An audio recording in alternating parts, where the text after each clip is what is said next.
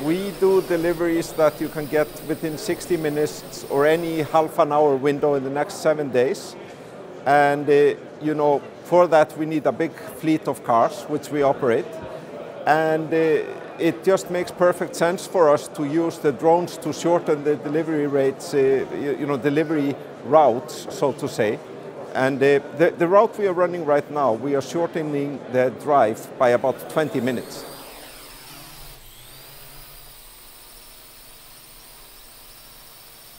Say uh, we look at this as uh, right now we can deliver via drones about half of the days of the year. Uh, we have like a short term saying two, three years. I would like that to be 320 out of the 365 days. Then every 10 days after that is going to be hard because of the weather in Iceland. But it's possible, I believe, up to 350 plus days. So we are very careful that we start by delivering to the outskirts of the suburbs. Instead of flying above people's houses, we want them to see the drones around the area.